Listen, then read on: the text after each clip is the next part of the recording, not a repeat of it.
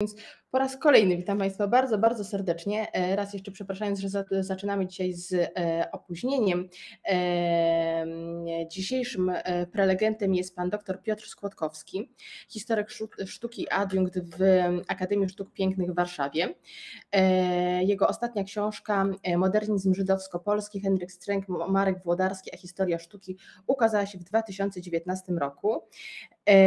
W tej chwili pan dr Jest współkuratorem wystawy, która za kilka dni zostanie otwarta w Żydowskim Instytucie Historycznym razem z pracownikami, współkuratorem wystawy razem z pracownikami Żichu właśnie Martą Kapełuś i Michałem Krasickim. Będzie również na ten temat właśnie dzisiaj opowiadał. Doktor Skłodkowski interesuje się polską sztuką XX wieku w perspektywie współczesnej myśli humanistycznej. Jest też e, laureatem wielu naprawdę licznych stypendiów i nagród. Na dzisiejszym seminarium przedstawi temat Pomniki oporu, Żydowski Instytut Historyczny, Marek Oberlander i opamiętnienie powstania w getcie warszawskim poprzez sztukę. E, ja jeszcze tylko dodam, że seminarium jest nagrywane, będzie do e, obejrzenia, do odsłuchania niedługo na naszym kanale na YouTubie. Mają Państwo możliwość zadawania pytań przez cały czas trwania e, wystąpienia, przez cały czas trwania seminarium. E, ja je później udostępnię i Pan e, Piotr będzie na nie odpowiadał po zakończeniu swojego wykładu. Natomiast można je pisać już wcześniej, jeżeli pojawi się jakiś, jakiś pomysł, jakaś wątpliwość właśnie w czasie w czasie wykładu. Już nie przedłużając, e, oddaję, e, oddaję głos naszemu prelegentowi. Zapraszam serdecznie.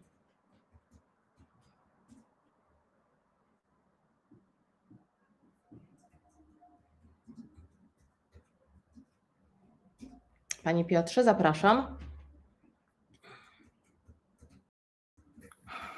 Halo, dzień dobry. Dzień dobry. Czy mnie Państwo widzą i słyszą? Tak, myślę, że tak. Ja tutaj, ja tutaj tak. widzę, słyszę, także wszystko, wszystko działa. E, dzień dobry Państwu. E, bardzo mi miło. Przede wszystkim chciałem bardzo podziękować e, za zaproszenie na to seminarium. Miałem już przyjemność wcześniej uczestniczyć w seminariach Żichu. To jest zawsze bardzo, bardzo duży zaszczyt i, tak jak mówię, przyjemność intelektualna.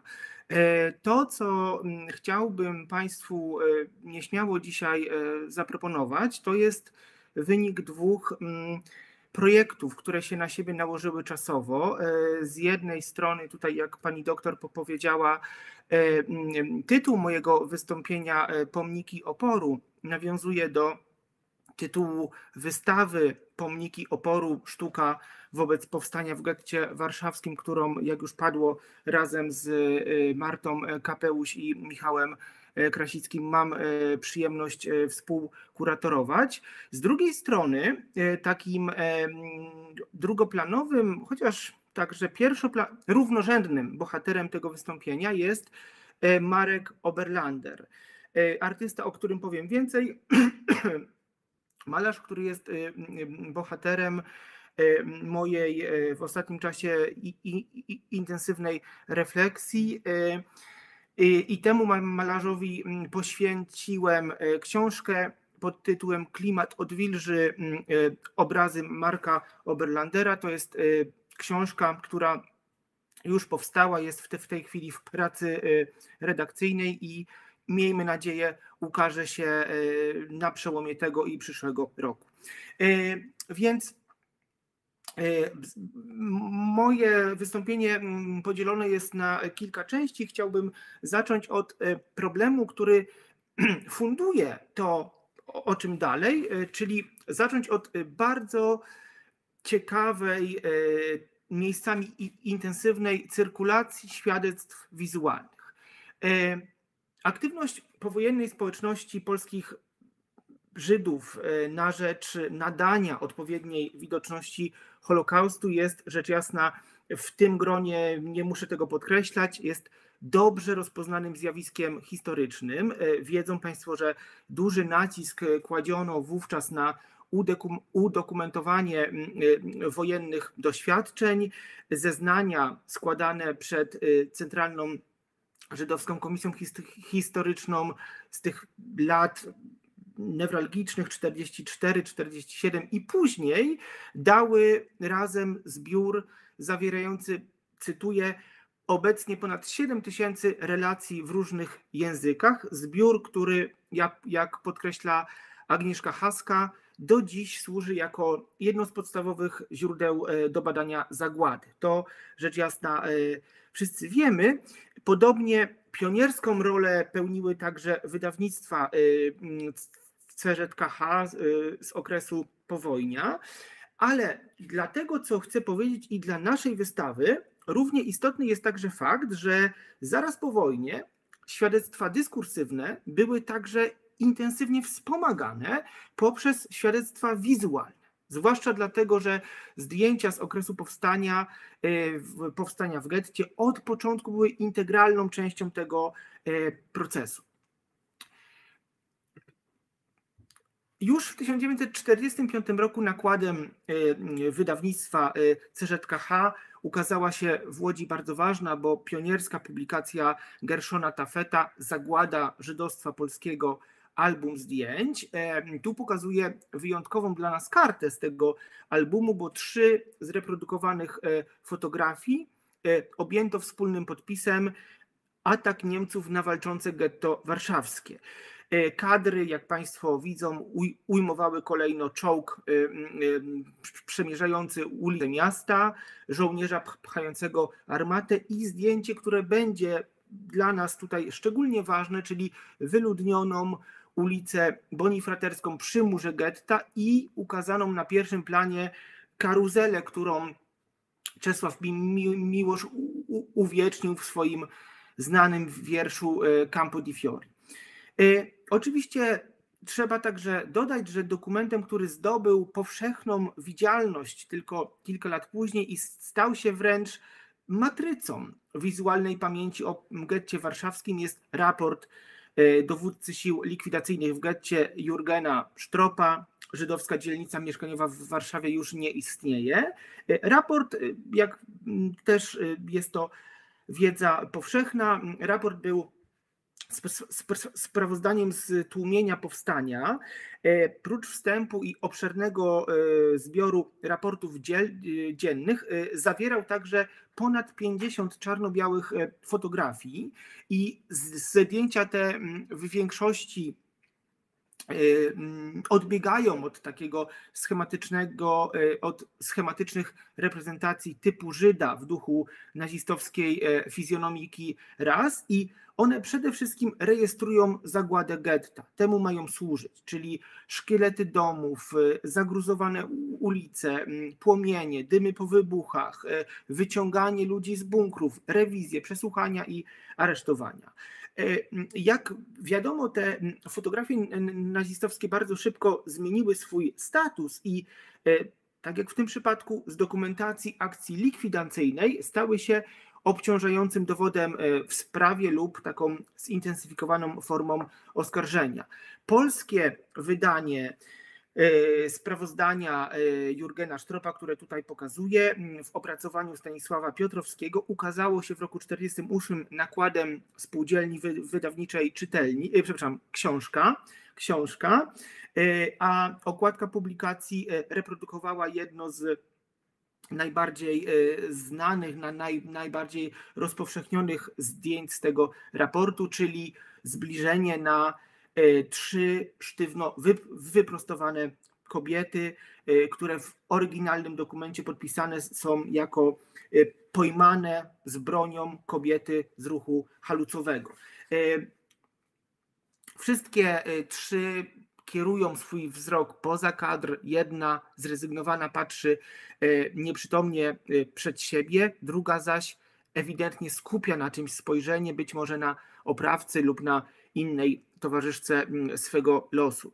Migawka aparatu uchwyciła tutaj e, subtelne, subtelnie różne reakcje na zatrzymanie, ukazując e, napięcie towarzyszące tamtej chwili. I to, co jest istotne, to fakt, że tutaj u dołu jeszcze mm, mm, e, pokazuje inne, równie słynne zdjęcie, które przeszło do historii badań nad zagładą jako przedstawienie tak zwane ghetto boy, chłopca aresztowanego czy zatrzymanego razem ze swoją matką i innymi.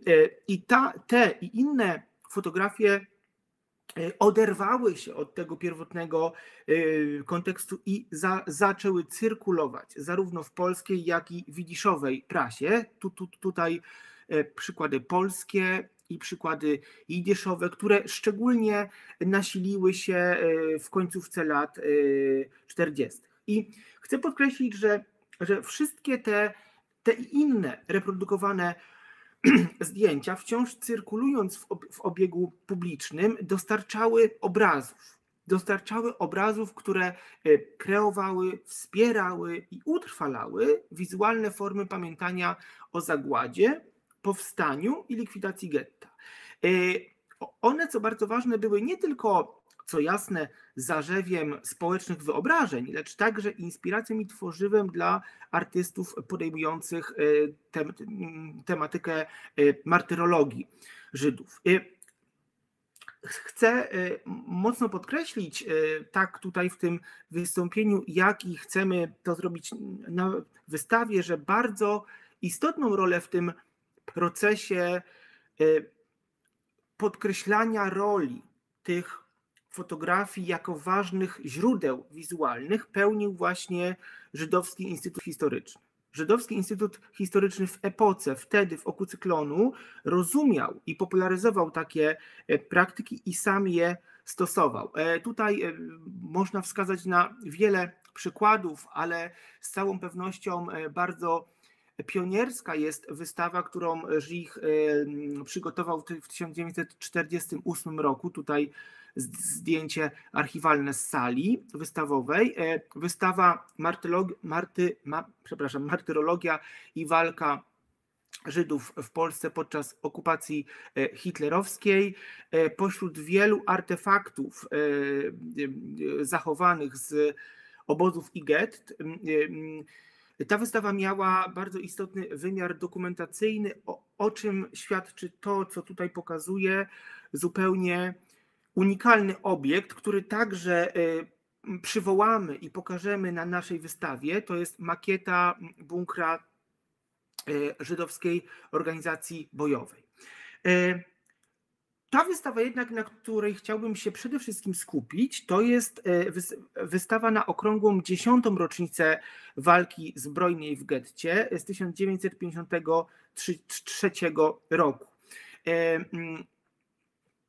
Dyrektor e, Bernard Mark i inni e, ważni pracownicy e, ŻICH prowadzili wtedy szeroko zakrojoną kwerendę. I teraz udało mi się przejrzeć całą wychodzącą i przychodzącą korespondencję ŻICH za rok 52 i 3 i ta kwerenda ewidentnie wskazuje, że, że Mark i inni szukali nie tylko źródeł dyskursywnych, lecz także, a nawet powiedziałbym przede wszystkim, y, świadectw wizualnych.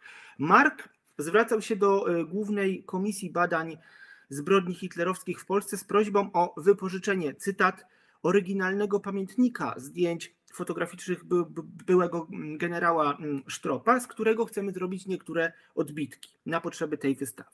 Już w 1952 roku podobne zapytania wysyłano także do Instytutu Zachodniego w Poznaniu. Tutaj o kolekcję cytat zdjęć dotyczących martyrologii i walki Żydów, e, także do Archiwum Miasta Stołecznego Warszawy o zasoby zdjęć i obrazów z czasów okupacji hitlerowskiej oraz e, do Stołecznego Towarzystwa Przyjaciół Dzieci, tutaj konkretnie w sprawie zdjęć i dokumentów e, Korczaka. E, także po otwarciu wystawy w październiku 1953 roku Żich e, prosił jeszcze Naczelną Dyrekcję Archiwów Państwowych o album fotografii z getta warszawskiego.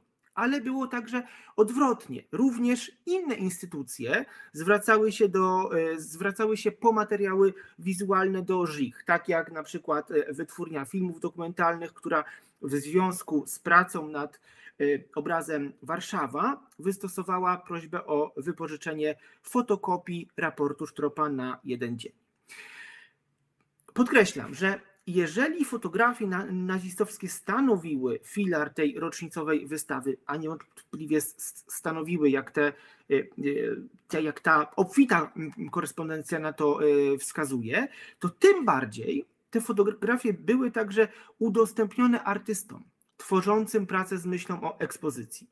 I ponownie mamy tutaj szczęśliwie dużo źródeł, bo obfita korespondencja z malarzem E, który wtedy ściśle z ich współpracował, e, z malarzem Zdzisławem Lachurem, wskazuje, że ten zamówił odbitki, e, cytat, przeszło 60 zdjęć ze zbiorów Instytutu, a nawet gdy, gdy koszty uniemożliwiały wykonanie tak dużej liczby kopii, szukano rozwiązania, by z użycia tych zdjęć nie rezygnować.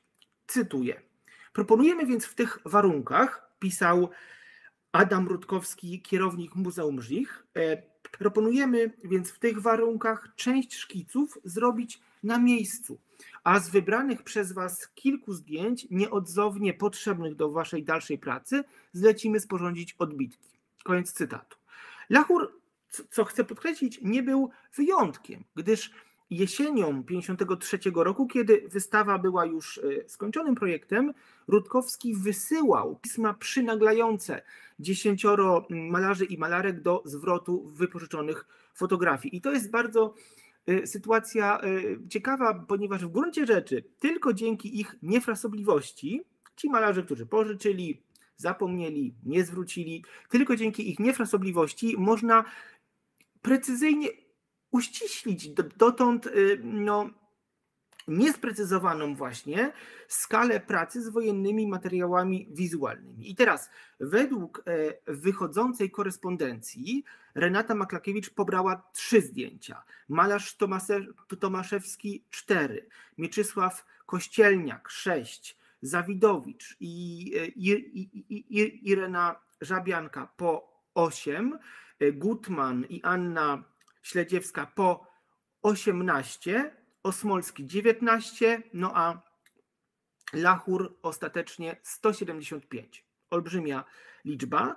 E, Marek Oberlander, który będzie nam towarzyszył e, dalej, ale on także brał udział w tej wystawie, figuruje na liście z 70, 79 zdjęciami do zwrotu.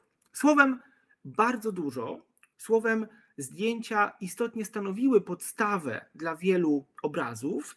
Y, I mm, pytanie, które mm, trzeba zadać, to to, jak te fotografie były wykorzystywane w pracach artystycznych i jaki nadawały status sztuce o powstaniu. Y, wracam jeszcze do, y, do dokumentów tekstowych, bo mówiąc za Bernardem Markiem, wystawa i pokazana na niej sztuka miała być ufundowana na wynikach ostatnich badań Żich i na dokumentacji historycznej, e, elementach plastycznych, makiety, mapy polityczne, obrazy wykonane przez artystów, malarzy i rzeźbiarzy na podstawie literatury dokumentarnej. Koniec cytatu. E, do komisji artystyczno-kwalifikacyjnej tej wystawy w charakterze rzeczoznawcy włączono Juliusza Krajewskiego i to nie jest przypadkowa postać, do czego za chwilę wrócę, mm, a za projekt plastyczny odpowiadał Mieczysław Berman, taki ważny mm, mm, komunistyczny y, grafik i projektant. Y, ciekawe jednak, że właśnie pomimo zaangażowania Juliusza Krajewskiego, który był w tamtym czasie takim czołowym e, propagatorem socrealizmu w malarstwie polskim. E, poza, jakby pomimo tego, wystawą starano się usilnie zainteresować także artystów spoza bloku wschodniego. W 1952 roku, e, przecież jeszcze w apogeum stalinizmu, w liście do organizacji Żydów polskich we Francji, zapraszając cytat wybitnych postępowych plastyków francuskich, Mark zapewniał otwartym tekstem, nie narzucamy ani tematu, ani stylu, ani formy. No to była w 1952 roku bardzo e, e, odważna deklaracja, e, natomiast fakty były takie, że, że, że pomimo tej deklaracji, zgodnie z przewidywaniami, estetyka prac wówczas powstałych i eksponowanych na tej wystawie no, nie odbiegała od takiej figuracji typ, typ, typowej dla realizmu socjalistycznego. Więc jak te fotografie były w pracach wy, wykorzystywane. E, one były w oczywisty sposób e, e, rozmaicie pojętym tworzywem obrazów.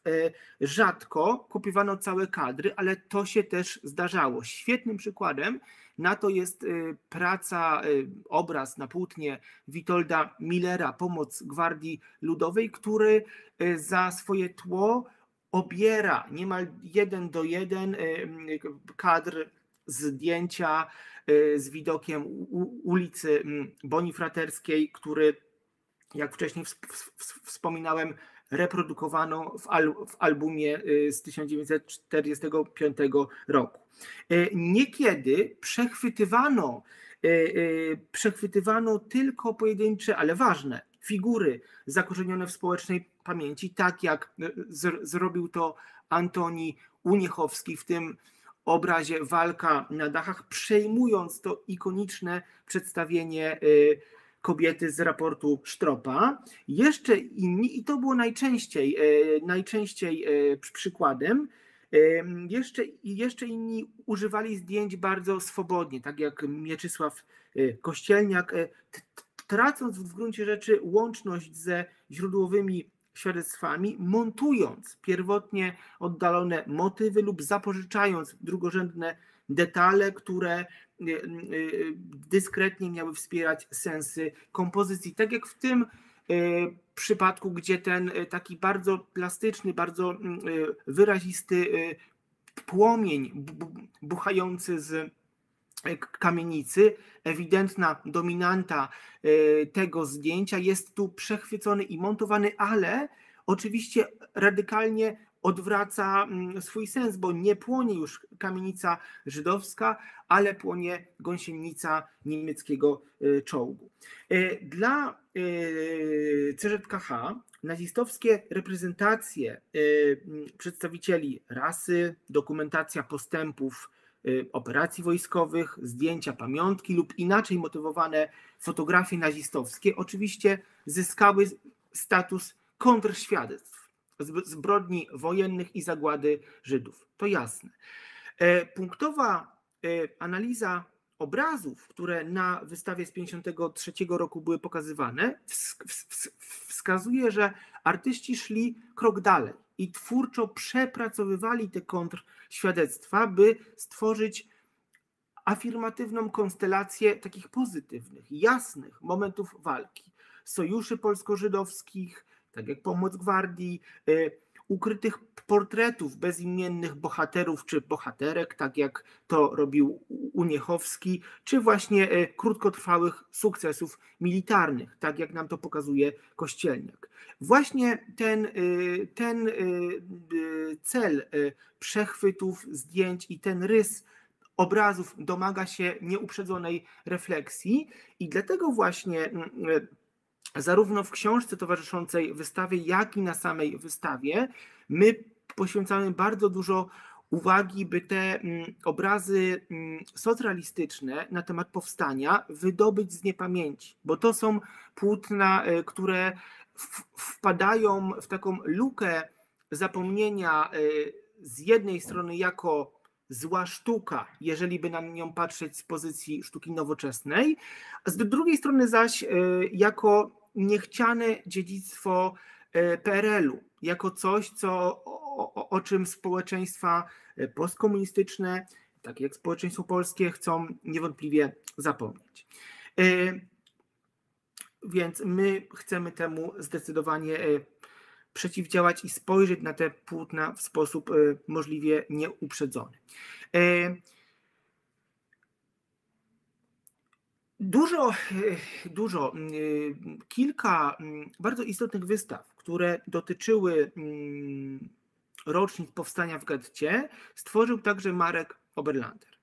E, A tutaj, mm, zanim przejdę dalej, trzeba podkreślić, że Oberlander, polski, polsko-żydowski malarz, kurator, to jest postać zapamiętana w historii sztuki bardzo fragmentarycznie. I właściwie wyłącznie jako współtwórca ogólnopolskiej wystawy młodej plastyki zwanej pot, po, potocznie Arsenałem. I ta wystawa była ważna dla historii sztuki jako przejście od y, y, y, socrealizmu do sztuki nowoczesnej i od stalinizmu do liberalizacji kultury doby odwilży.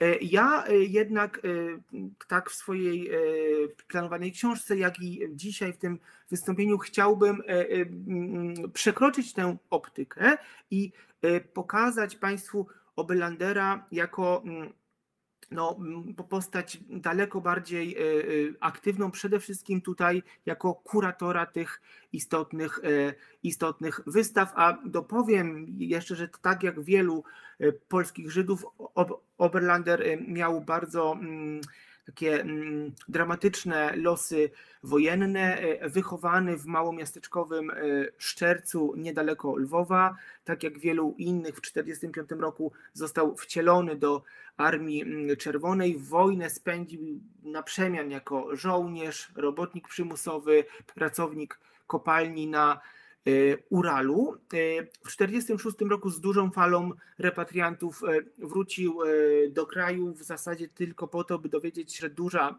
zdecydowana większość jego ro, ro, rodziny nie przeżyła zagłady. Stąd właśnie, stąd właśnie mm, takie doświadczenie czy chęć poświadczania wojny i zagłady stanowiło kluczowy problem zarówno sztuki, jak i aktywności kuratorskiej tego, e, e, tego malarza. W 1960, a przepraszam, tu jeszcze dopowiem, że właśnie e, jako twórca Arsenału Oberlander jest najbardziej znany jako mm, malarz tego jednego obrazu, napiętnowanych wtedy na Arsenale pokazanych obrazu e, ikony, którą e, zaciekle atakowano, bo nie wpisywała się w żadne ówczesne konwencje artystyczne, tradycje artystyczne, jak i zaciekle broniono. Przechodząc do, do wystaw. W 1961 roku Oberlander był komisarzem pokazów upamiętniających getto warszawskie, powstanie w getcie, które gościły w Amsterdamie, Sztokholmie, Kopenhadze i w Alborgu. Ta broszura, którą pokazuje Warszauer Getto, precyzuje, że w Amsterdamie ekspozycja była pokazana właśnie między 18 mm, kwietniem y, a 8 maja. Y, była pokazana w XV-wiecznym budynku wagi miejskiej w, w, mm, w ca, w samym centrum miasta. Nota prasowa zamieszczona w, w gazecie lokalnej mówi ponadto, że wystawę zorganizowano cytuję, w imieniu rządu polskiego oraz we, we współpracy z holenderskim Komitetem Oświęcimskim i Żydowskim Muzeum Historycznym. E, prócz Oberlandera, który pokazał wtedy właśnie napiętnowanych, e, swoje prace wystawili również. E, tutaj warto wymienić te nazwiska: Ksawery Dunikowski, Jan Dziędziora, Maria Hiszpańska Neumann, Klemens Felchnerowski, Felicjan Kowarski, Zdzisław Lachur, Stanisław Osmolski, Jacek Sienicki, Jadwiga Simon Pietkiewicz i Bogdan Urbanowicz. E, to są nazwiska, które, e, które częściowo e, należą do kanonu polskiej sztuki XX wieku, polskiej sztuki powojennej, ale tylko częściowo. Lachura, a niewykluczone, że także innych, Oberlander poznał e, prawdopodobnie poprzez Żich, gdzie obaj brali udział w tejże wystawie roku 53. Zresztą tutaj dopowiem, że w lutym 59 Lachur miał także pokaz w Salonie Nowej Kultury w Warszawie, którym e, Oberlander e, kierował. I teraz wyjąwszy tę zbieżność, ta, ta, ta szeroka lista za proszonych w gruncie rzeczy nie narzuca nam jednego klucza, takiego czytelnego klucza wyboru.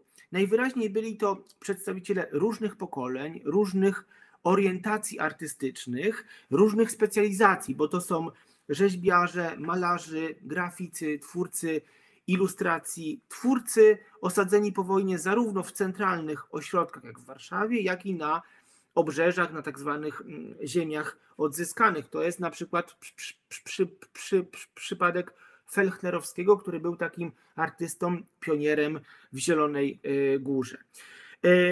Broszura zawiadamiająca o tej e, ekspozycji e, mieściła krótkie biogramy artystów, w których uwypuklono nie tylko takie bardziej konwencjonalne informacje o wykształceniu czy udziałach w wystawach, ale także te o doświadczeniach obozowych. Stąd holenderski mm, odbiorca dowiadywał się, że Dunikowski był więźniem Auschwitz, a hiszpańska e, Neumann i e, Simon Pietkiewicz Ravensbrück, więźniarkami Ravensbrück.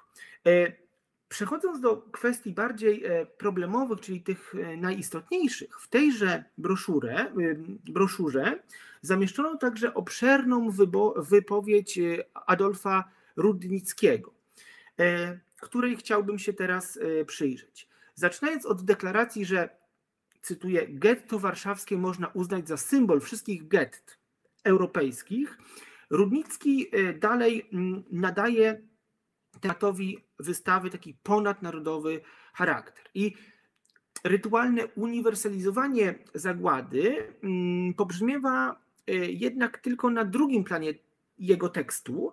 E, przede wszystkim stanowi bowiem ten tekst takie mm, emocjonalne nawołanie do podtrzymania pamięci o gettach i obozach, a zarazem jest przestrogą przed niedobrą zmianą pokoleniową w postrzeganiu i reprezentowaniu niedawnej przeszłości. I chciałbym się teraz, y, y, tu, tutaj będą dwa dłuższe passusy, y, chciałbym się mm, pochylić nad tym argumentem, który Rudnicki nam prezentuje.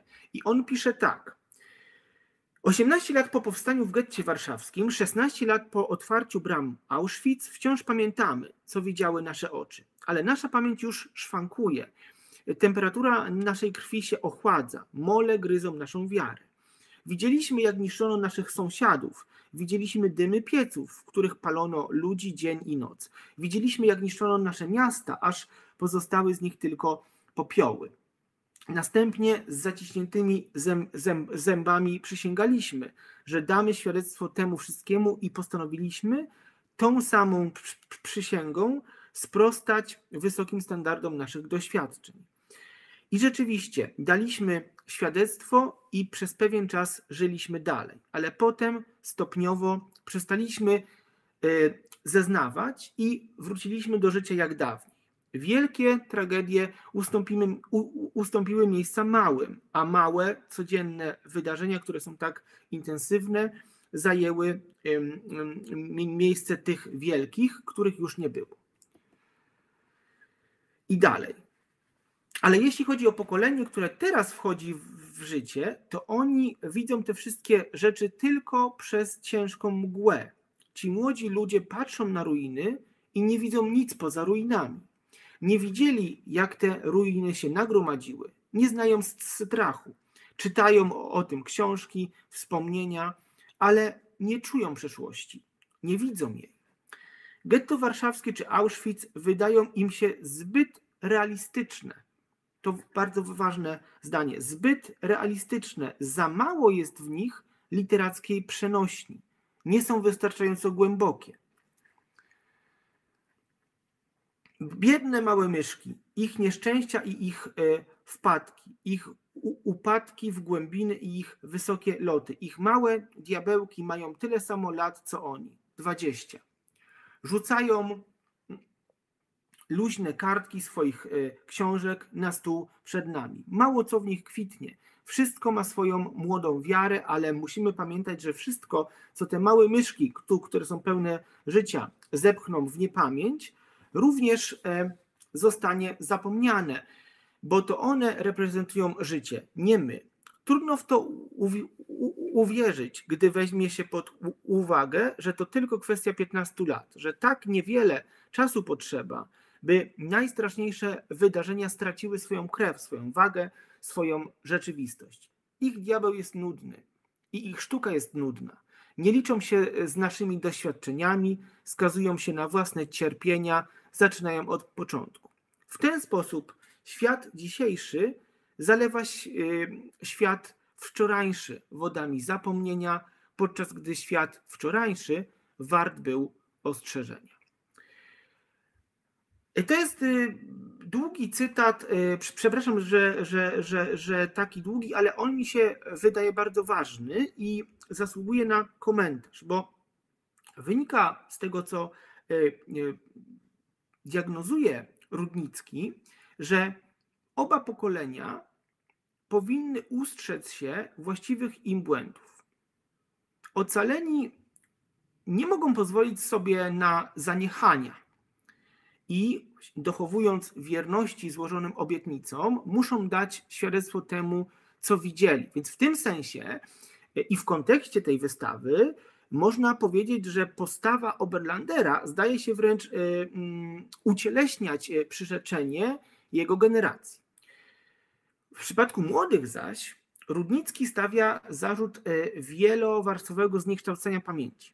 Rzecz w tym, że wydarzenia graniczne, które przekłada się na dyskurs bez należytej wrażliwości, stają się martwe i umykają zrozumieniu, gdyż nie są naprawdę, naprawdę przeżyte ani dostrzeżone. A za tą tezą stoi sedno argumentu Rudnickiego. To znaczy konfrontacja dwóch postaw i konfrontacja dwóch programów artystycznych. Młodzi mm, ubierają przeszłość w metafory, mające nadać jej potężną głębię, ale, twierdzi pisarz, w istocie tylko ją konwencjonalizują i dlatego osłabiają e, bardziej autentyczną transmisję przeżyć wojennych. Pokolenie świadków zupełnie inaczej. Nie dba natomiast o formę, lecz o siłę oskarżenia, które musi wybrzmieć. Tym samym Rudnicki byłby zapewne zwolennikiem logiki upamiętniania mm, przyjętej 8 lat wcześniej na wystawie w Żich, kiedy pomimo czy obok ideologii socjalizmu, kiedy wspierając obrazy dokumentacją zdjęciową, starano się e, potęgować nie tyle właśnie inwencję artystyczną, lecz e, zakładane rzeczowość i bezpośredniość przekazu. Mówię, pomimo czy o, obok ideologii. Y, swym tekstem, co bardzo istotne, Rudnicki zajmuje wyraźne stanowisko w sporze, który równolegle prowadzony był także w PRL i, i, i także wśród e, plastyków e, młodego pokolenia czasu e, odwilży. I tutaj można przywołać fragment dyskusji prasowej, która toczyła się około i po 55 roku y, odnośnie do wystawy y, Arsenał, którą wspominałem. I przy okazji tej debaty jeden z artystów młodego pokolenia pisał tak: Trzeba, jak sądzę, sens moralny dramatu oddać środkami wyobraźni artystycznej. Bezpośrednie ukazywanie pewnych konfliktów tragicznych staje się niekiedy szantażem moralnym. Więc można powiedzieć, że ten, ta postawa Lenicy, młodego Lenicy, e, była, była czymś, z, z czym właśnie Rudnicki wyraźnie, wyraźnie e, polemizował. E, tych wystaw było, było wiele, bo wystawa amsterdamska była w pewnym sensie takim pokazem objazdowym, ale chciałbym skupić się na, e, na mm, drugiej, e, znaczy kolejnej z tych moim zdaniem istotnych, mianowicie w kwietniu, w kwietniu 63 roku Oberlander e, przygotował pokaz wynikający zapewne z, z, z poprzednich, ale tym razem pokaz w kraju. Z pomocą Związku Polskich Artystów Plastyków i Towarzystwa mm, Społeczno-Kulturalnego Żydów w Polsce Zorganizował wystawę plastyki poświęconą 20. rocznicy powstania w, w, w getcie. Ponownie pełnił rolę komisarza, a, a także mm, autora projektu ekspozycji. E, katalog, który sugeruje, że to wydarzenie miało miejsce w Galerii Sztuki MDM przy Marszałkowskiej, e, katalog po pozwala wyrobić sobie zdanie o skali tego przedsięwzięcia. To była wystawa dużo większa. Zamieszczono w tym katalogu listę 127 prac autorstwa 43 artystek i artystów, a wśród nich co bardzo istotne i ciekawe, także tych jednoznacznie identyfikowanych w epoce i później jako wybitni przedstawiciele y, odwilżowej nowoczesności, czyli ci artyści, którzy niekoniecznie wtedy ko ko kojarzyli się z, ze sztuką stricte żydowską, związaną z pamięcią wojny, zagłady, martyrologią, tylko ci to, to, to były nazwiska wpisane w kanon tej mm, zuniwersalizowanej nowoczesności. Artyści tacy jak Jadwiga Maziarska, Jonasz Stern, Alina Szapocznikow, Marek Włodarski, czy Barbana, czy Barbara Zbrożyna. Wszystko nazwiska podręcznikowe. E, o tym, że, że, e, że, mm, o tym, że horyzont nowoczesnej formy nie był tutaj ważnym punktem odniesienia, e, świadczą bardzo, przepraszam, tutaj się jeszcze cofnę, świadczą bardzo odmienne estetyki tych mm, reprodukowanych prac, od realizmu do takiej bardzo syntetycznej figuracji, mm, a także o tym, że nowoczesność nie była punktem odniesienia, świadczy także dobór e, mm, obrazów, dobór obiektów, gdy chodzi o poszczególnych uczestników tego pokazu. Bardzo dobrym przykładem jest tutaj e, wspomniany już Marek Włodarski, e, który po roku 55 malował, znaczy Marek Włodarski tu, tutaj warto dopowiedzieć, do, to był w latach 50. taki bardzo ważny nestor polskiego modernizmu. W dwudziestoleciu uczeń Fernanda Legera w Paryżu, surrealista, słowem malarz ewidentnie kojarzony z nowoczesnością. E, po 1955 roku malował e, obrazy abstrakcyjne, tak jak inni malarze nowocześni w tym, w tym e, czasie, a mimo tego wszystkiego z jego dzieła, z jego twórczości na wystawę wybrano pracę zupełnie inną. Dzisiaj notabene w zbiorach Żich, to znaczy e, niepozorny gwasz, Żydzi, muzykanci w, Sztut, w, w. Kompozycję zakup, zakupioną przez, przez Żich w 1946 roku i z całą pewnością marginalizowaną względem innych obszarów twór, twórczości tego ucznia Leżera. Ponownie Podobnie jak w, katalogu poprzednim, tak tutaj e, zamieszczono także wstęp, tekst, e, tym razem wstęp Dawida e, Szwarda, poety, prozaika piszącego Widzisz.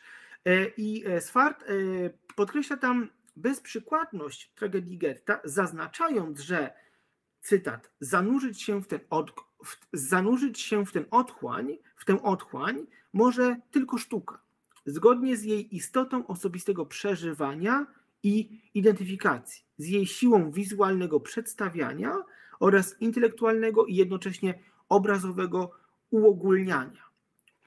U, uogólniania. Artysta sięga do każdego tragicznego zjawiska poprzez siebie samego i wcielając je z pierwotną siłą w swoim dziele, jednocześnie obiektywizuje to zjawisko. Odrywa je od miejsca i czasu i podnosi do rangi odwiecznego problemu. Na tym polega mo moralny i społeczny sens sztuki, jej ciągła aktualność. Kończy Cwart. Najpewniej więc autor tekstu, który wyraźnie tutaj obstawiał przy y, obrazowym uogólnieniu, byłby bliski językowi metaforycznemu, nie zaś mimetycznemu, i w głośnym sporze o reprezentację zagłady zajmowały, zajmowałyby zdecydowanie inne stanowisko niż Rudnicki, który ganił sięganie po literacką przenośnię. Nadto, e, ponadto w słowach e, Sfarda pobrzmiewa wyraźnie retoryka uniwersalizacji pamięci wojny, choć warszawska wystawa upominała się o żydowskie doświadczenie getta. E, mm, I w, ty, w, świetle tej, tej e, ostatniej obserwacji warto także zauważyć, zanim przejdę do wniosków, że kilka lat później, bo już w roku 71, kiedy Oberlander e, zwracał się do Muzeum w Nicei z wstępną propozycją zorganizowania tam wystawy swoich e, prac, wtedy od razu pozwolił sobie zastrzec w liście, że chciałby, by, cytat, wystawa odbyła się około 19 września. Jest to właśnie rocznica powstania w getcie warszawskim i być może dla wzmocnienia argumentów w tym samym zdaniu przyjął ten sam ton, yy, przepraszam, przy, przyjął ten sam ton, co wcześniej Swart pisał.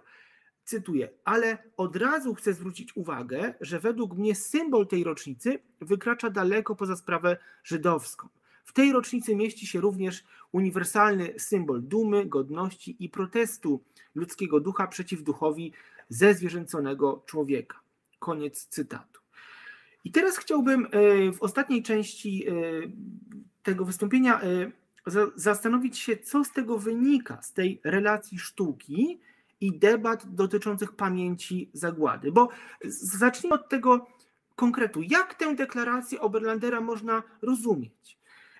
Jego aktywność kuratorska wydaje mi się analogiczna do walki o pamięć podjętej po wojnie przez Józefa e, Sandla i to jest ten aspekt e, działalności Sandla, którą kilka lat temu e, w Żichu przypomniano poprzez świetną wystawę Walka o pamięć współkuratorowaną przez Jakuba Będkowskiego. I ta wystawa wyraźnie pokazywała, że, że Sandel, który usiłując napisać historię sztuki artystów żydowskich, musiał dbać, by ta była kompatybilna z główną narracją sztuki socjalistycznej. Dlatego Sandel wydobywał lewicowe zaangażowanie twórców, na przykład e, progresywny realizm, krytykę kapitalizmu, podejmowanie tematyki społecznej, ponieważ w ten sposób najlepiej dowodził, że kultura żydowska wpisuje się w centralne idee postępowej kultury polskiej i dlatego właśnie, dlatego właśnie jest godna upamiętniania. Oberlander siłą rzeczy przyjął podobną strategię. Przygotowując wystawy rocznicowe i eksponując swoje prace, z tego czasu już bardziej metaforyczne, takie jak, e, e, przepraszam, e, figury, więc przygotowując wystawy rocznicowe i własne ekspozycje tychże figur, posługiwał się retoryką akcentującą dumę i godność, gdyż ta nie tylko oddawała postawę walczących i reprezentujących ich świadków historii, lecz była także bardzo dobrze ugruntowana w epoce. Y, cytat. Slogan, sloganowe hasło o ratowaniu godności i honoru, które pojawiało się w prasie, referatach i przemówieniach z okazji kolejnych rocznic powstania, dla jego uczestników było niepodważalną prawdą. Tak przypomina mm, Renata y, Kobylarz, monografistka y, rocz, rocznic powstania. Ostatecznie więc chcąc oddać sprawiedliwość żydowskiemu zrywowi, Malarz i kurator nie mógł zwyczajnie ignorować faktu, że jego działania rozgrywały się w bardzo niestabilnym, ale ważnym momencie dla kultur e, pamięci o wojnie i zagładzie. O ile dla zachodnioeuropejskich społeczeństw wiedza o Holokauście przenika na szerszą skalę w połowie lat 60., e, a szeroko komentowany proces e, Eichmana wywołuje bezprecedensowe wzmożenie obecności zagłady w obiegu publicznym, o tyle, jak podkreśla mm, Zofia Wójcicka, w Polsce zachodzi zjawisko o odmiennej dynamice. Cytuję. Podczas gdy w latach 40. zagłada była jeszcze obecna w, w dyskursie publicznym, w czasach e, następnych dziesięcioleci ulegała ona daleko idącej tabuizacji. Wynikało to mm, między innymi stąd, że aktywna w powojniu społeczność żydowska, która nadawała widzialność tragedii zagłady i zdawała sobie sprawę z jej odrębności, sukcesywnie malała na skutek masowych emigracji.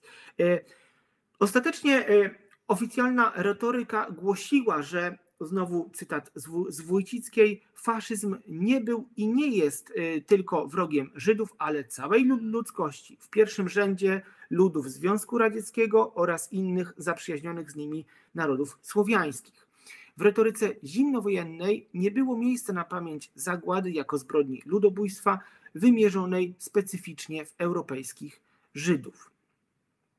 Jakkolwiek ta dominująca narracja pamięciowa, tak jak każdy dominujący dyskurs no, nie była przyjmowana bezwyjątkowo, to jednak nie, nie ulega wątpliwości, że wyznaczała ramy odbioru mm, y, tej ześrodkowanej na pamięci wojny praktyki artystycznej i kuratorskiej. Wyznaczała ramy tejże praktyki kuratorskiej.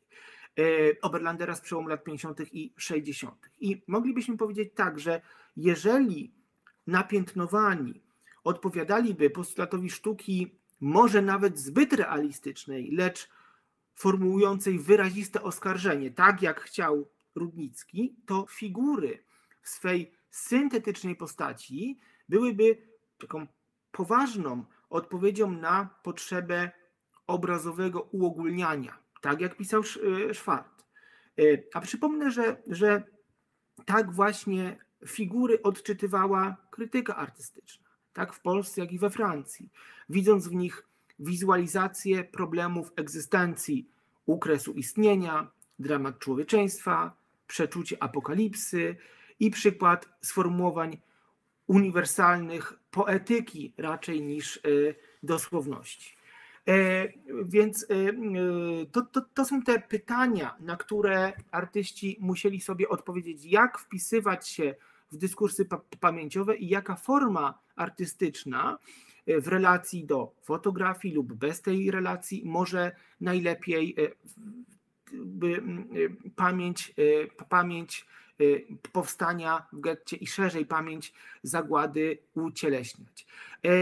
To jest też problem, który sobie, który sobie postawiliśmy tworząc wystawę i książkę Pomniki Oporu. E, ja chętnie powiem o tym więcej, może w części poświęconej e, pytaniom. E, tutaj chciałbym jednak krótko tylko wytłumaczyć się z tytułu. Pomniki oporu mm, rozumiemy tu, tutaj dwojako i metaforycznie, bo nie chodzi tylko rzecz jasna o pomniki jako obiekty, ale o figury oporu. E, pokazujemy i chcemy docenić nie tylko opór samych powstańców, którzy walczyli i gnęli w getcie, ale także y, opór społeczności powojennych Żydów, która musiała e, no, borykać się z rozmaitymi schematami pamiętania uogólniania i mimo to walczyć o pamięć powstania e, w pierwszej powojennej dekadzie e, w, w PRL-u. Takim, taką ważną kategorią, którą wprowadzamy, którą sygnalizujemy na wystawie, ale przede wszystkim wprowadzamy w książce, która wystawie towarzyszy. Książka będzie miała premierę tydzień po, po, po wernisażu, to kategoria źródeł artystycznych. Ona jest dla nas bardzo ważna, bo zależy nam na tym, żeby ten bogaty wybór obiektów, który prezentowany jest na wystawie, to jest o, o, około 100 prac i dużo większy, około 200 reprezentowany w tej książce, by tych obiektów nie traktować tylko jako mm, takich e, prac, które e, poddają się i i oswajają się w sublimacji estetycznej, tak jakby na nie patrzyła konwencjonalna historia sztuki. Nie. Chcemy je traktować jako pełnoprawne źródła historyczne o profilu artystycznym, które dzięki swojemu e, unikalnemu medium wizualnemu, medium artystycznemu mogą głęboko w to wierzę, wzbogacić studia historyczne nad pamięcią zagłady. Bardzo Państwu dziękuję za cierpliwość. Mówiłem go, godzinę i myślę, że to w, zupełności wystarczy. Z przyjemnością odpowiem na, na Państwa pytania. Dziękuję bardzo. E, dziękuję również za niezwykle interesujący wykład. E, nie tylko z całą pewnością dla mnie, dlatego że już tutaj uśmiecham się. Pojawia się bardzo dużo e, podziękowań właśnie za ciekawy wykład. Już je tutaj udostępnię, żeby Pan też mógł. Dziękuję Państwu wszystkim za ba bardzo mi miło, bardzo mi miło. Dziękuję. Tutaj zawsze chwilkę zajmują te techniczne rzeczy. E, także tutaj właśnie e, są te podziękowania. E, ja tylko dopowiem, bo wydaje mi się, że to nie padło, że wystawa ta obecna Pomniki Oporu mm, Sztuka wobec powstania w getcie warszawskim 1943-1956 będzie otwarta e, i możliwa do zwiedzenia od 21 kwietnia e, aż do 1 października, więc długo mam nadzieję, że wszyscy z Państwa, którzy będą chcieli ją zobaczyć, zdążą to zrobić, ponieważ to jest dobrych kilka miesięcy. Tutaj o kolejne jeszcze mm, podziękowanie. To jeżeli mogę, dopowiem tylko, gdy chodzi o wystawę, że tak, tak, Oczywiście serdecznie zapraszamy, bo ta wystawa trwa mm, wyjątkowo długo, bardzo się z tego cieszę, ale także jeżeli macie Państwo e, sposobność, serdecznie zachęcam, żeby zajrzeć na stronę ŻIH, ponieważ tam w tej chwili na stronie głównej jest także e, mm, artykuł e, z programem towarzyszącym wystawie, który już został opublikowany i tam e, poza tym, że są też oprowadzania e, kuratorskie Michała, Marty i moje, e, to jest też szereg no, bardzo ciekawych takich autorskich od, odczytań, które dadzą nam, jak sądzę, nasi goście. Bardzo ciekawe naz, naz, naz, nazwiska właśnie spoza historii sztuki, co bardzo dobrze. Jestem ciekaw, jak, jak, jak jak e, ludzie z różnych perspektyw spojrzą na to, co przygotowaliśmy. E, tak, zgadza się. Ja mogę tylko to potwierdzić, że rzeczywiście tak jest. Tych wydarzeń jest sporo. E, one będą e, na pewno też zaplanowane, jak mówię, do końca czasu trwania, czyli do, no do końca września. Teraz jeszcze zerknęłam, że ostatnie wydarzenie, o którym Pan wspomniał, to będzie miało miejsce pod koniec czerwca. Także tutaj będzie intensywny maj, czerwiec, druga połowa kwietnia, jak najbardziej zapraszamy. Na, na stronie Żychu, czyli www.jh są też informacje, e, krótkie takie informacje dotyczące tej wystawy e, dla osób, e, które chciałyby się jeszcze dowiedzieć więcej zanim pójdą. Widzę, że, że ojej, coś mi się źle kliknęło. Widzę, że kolejne podziękowania się pojawiają, więc tak, to proszę. To e, zapraszam, e, bo. E, Heleno, to do mnie zapraszam, wiesz co? Tutaj, chodź. Helena Datner o, z Żydowskiego Instytutu Historycznego będzie miała pytanie.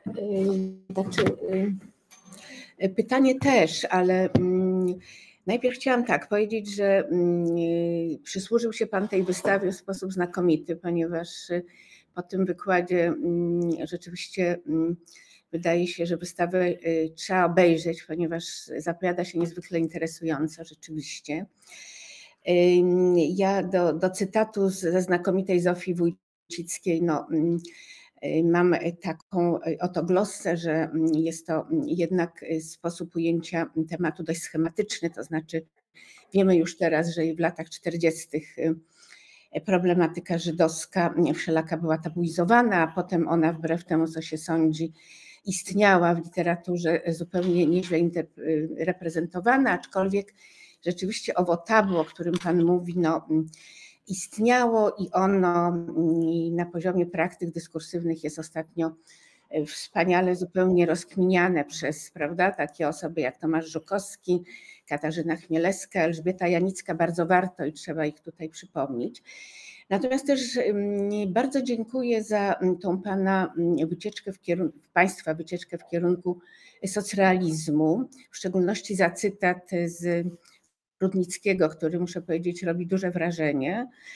I poprzez ten cytat Pan wraca do lat 50. i mówi o socrealizmie w sztuce, która ma przedstawiać to, co się zdarzyło w czasie wojny i to jest bardzo e, rzeczywiście interesujące i poruszające i też można tutaj przypomnieć, że równolegle pewną taką rewizję naszego rozumienia mm, socrealizmu w literaturze też się ostatnio robi, to jest bardzo interesujące, prawda?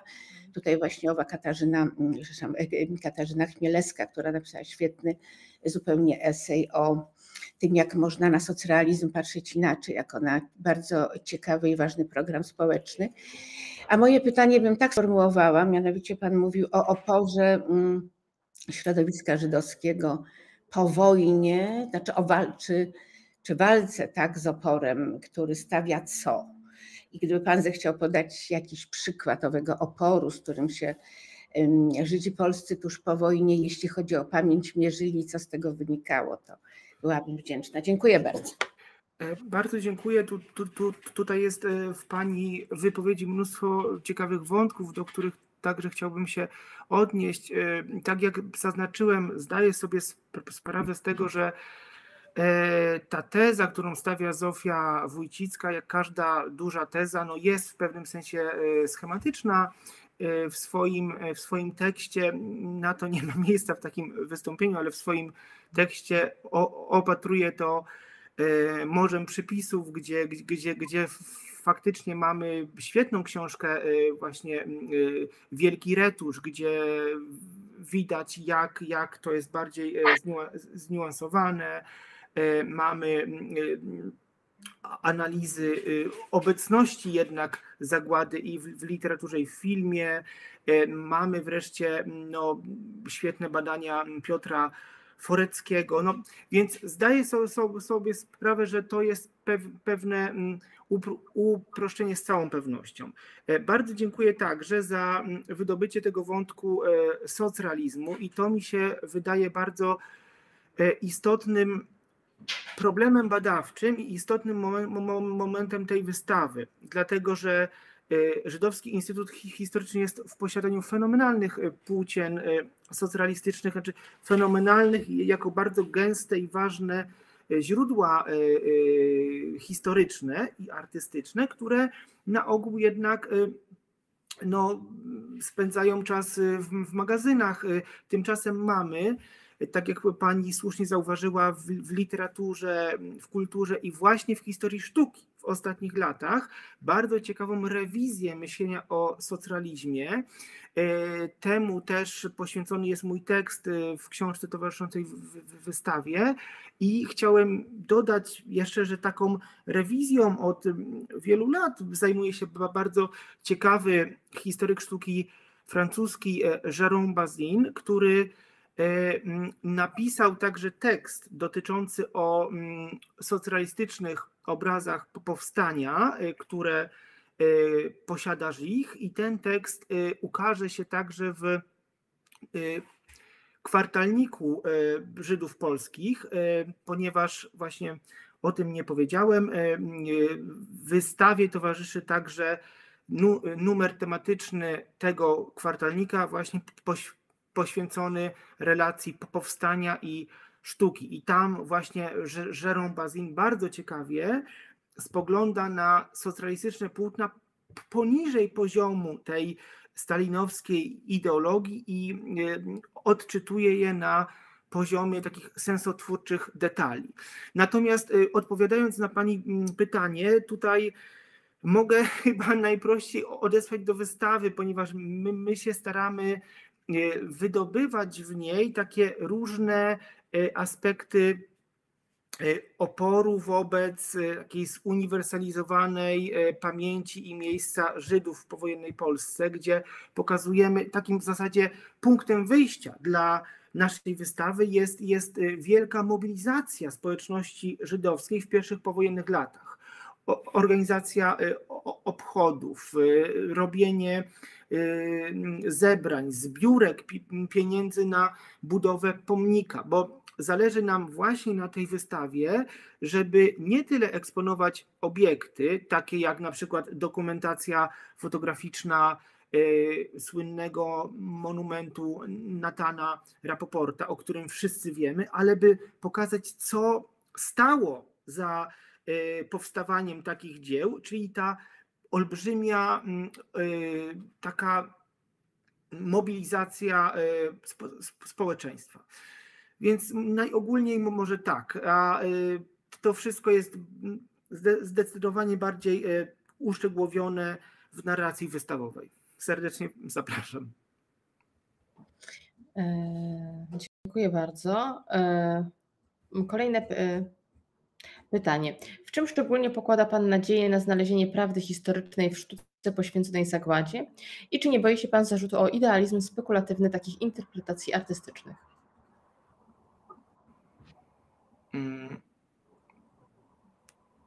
Jestem zaskoczony tym pytaniem, ponieważ y, wydaje mi się, że ja w żadnym momencie swojego wystąpienia nie mówiłem, znaczy nie używałem kategorii prawdy historycznej.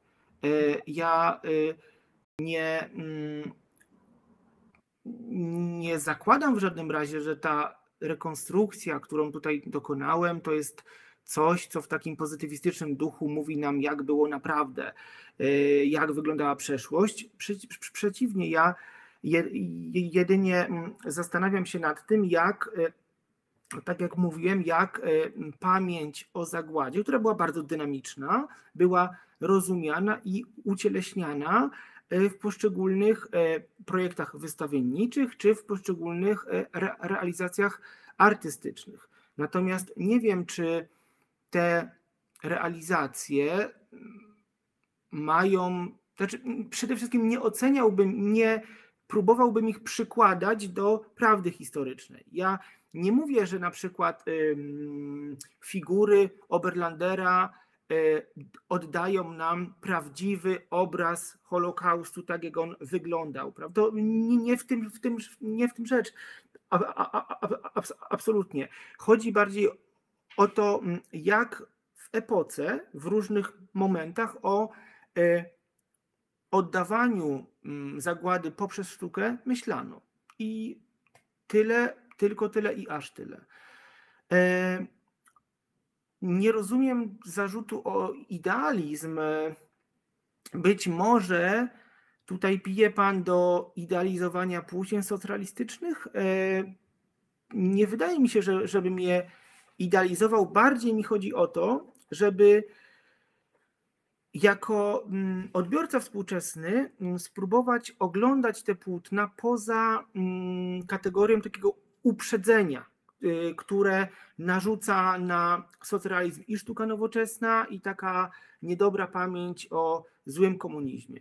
Y, I to w zasadzie tylko tyle. Dziękuję bardzo. E, zapraszam Państwa jeszcze, e, mamy chwilę do kolejnych pytań. Może ktoś z Państwa pisze jeszcze pytanie na czacie. Raz jeszcze zapraszam na wystawę. Przypomnę, ona będzie dostępna dla e, zwiedzających od 21 kwietnia, czyli już od najbliższego piątku do 1 października.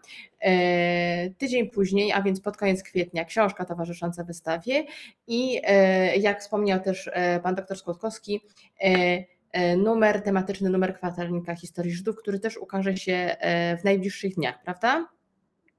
E, on się ukaże jako numer e, drugi 2023, e, więc pewnie oko, około czerwca, mhm. ale to było tak zaplanowane, żeby stopniować wydarzenia i nie, nie uderzać wszystkim naraz.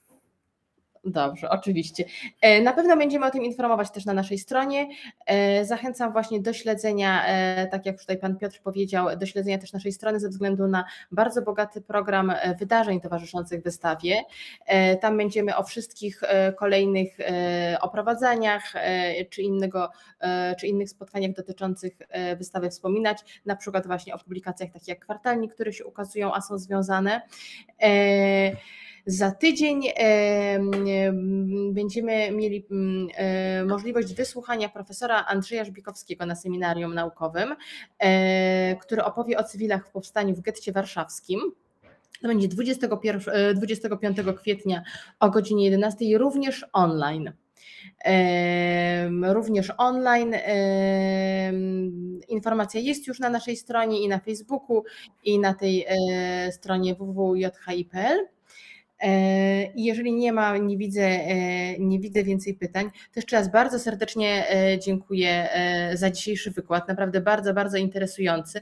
Myślę, że wszyscy, którzy słuchaliśmy, czujemy się naprawdę mocno zachęceni do obejrzenia wystawy, która za kilka dni zostanie otwarta. Jeszcze raz bardzo serdecznie dziękuję.